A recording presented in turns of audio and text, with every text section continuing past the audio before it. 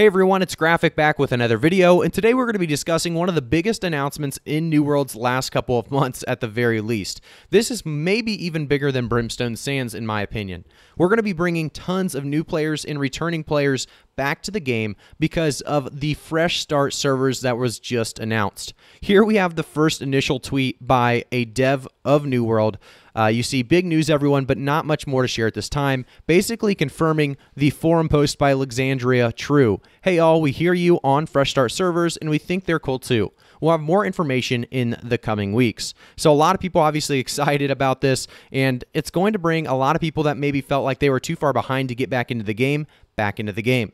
So, there's some things that I officially want in the game before these are released, so there are a few things I do want to make sure New World does take advantage of with returning and new players. I want them to really focus in on this single update.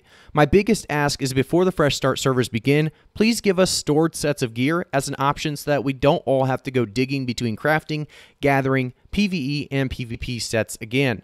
We just want to have a very easy, easy way to get around all of these different sets. And right now, rummaging through all the storages is a pain in the ass.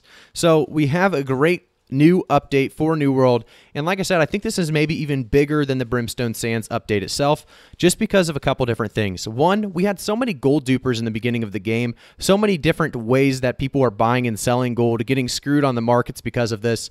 And I think, you know, we do need that kind of fresh start. And with the new idea that devs have been talking about with territories being, you know, not just owned by a single group of people across the world, as well as you know making all these territories kind of universally good. Um, they're just basically a ter territory update altogether is going to make the Brimstone Sands update even better because there's going to be a lot of competition, obviously, for the Brimstone Sands territory. So I really think altogether, guys, this is a very exciting announcement. I think we're going to see a lot of new and returning players to this game because of the fresh start servers. So I do give New World and AGS a ton of credit for going back and saying, let's give them a new experience. If you haven't gone back to the PTR and taken a look yourself, the leveling experience in New World is so much better than it previously was. Make sure to like the video, subscribe to the channel, and turn notifications on. I'll see you guys all in the next one.